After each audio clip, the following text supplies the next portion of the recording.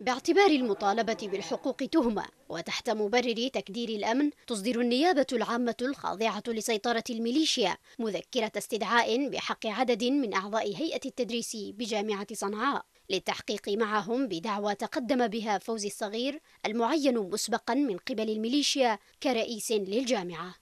الدكتور محمد الظاهري رئيس نقابة أعضاء هيئة التدريس والدكتور عبد الحميد البكري أمين عام النقابة والدكتور بشير طربوش محامي النقابة هم جل من أصدرت بحقهم هذه المذكرة على خلفية الإضراب الشامل الذي تنفذه نقابة التدريس منذ أسابيع للمطالبة بمرتبات أساتذة الجامعة.